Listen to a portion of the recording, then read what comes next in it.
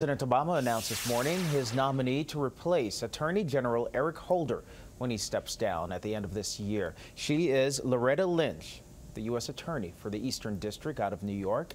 If confirmed by Congress, her appointment could be a, a history-making one. Richard Reeve joining us now from the newsroom with more on that. Rich.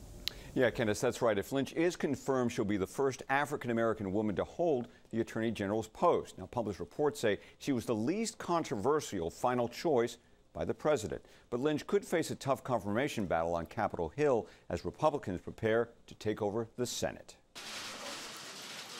Led by outgoing Attorney General Eric Holder, the president introduced Loretta Lynch. In a country that is built on the rule of law, there are few offices more important than that of Attorney General.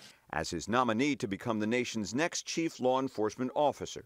Loretta might be the only lawyer in America who battles mobsters and drug lords and terrorists and still has the reputation for being a charming people person.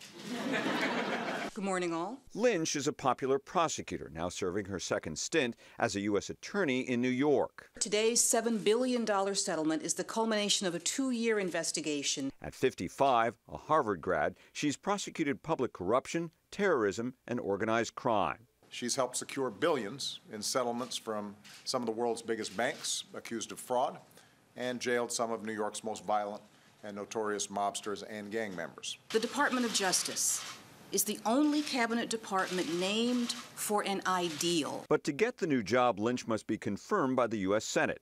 Mitch McConnell, the presumptive next Senate leader, says she'll receive fair consideration.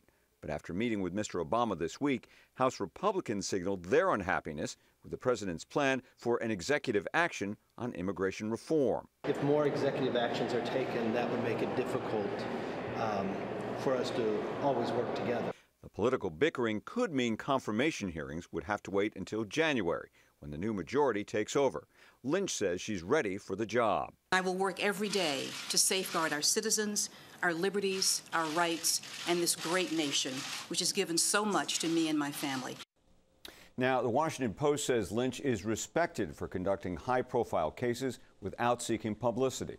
The president is calling for a swift confirmation. Senate Republicans say Lynch will get a thorough and fair vetting, but again, it's unlikely confirmation hearings will begin until January. In the newsroom, Richard Reeve, News Channel 8.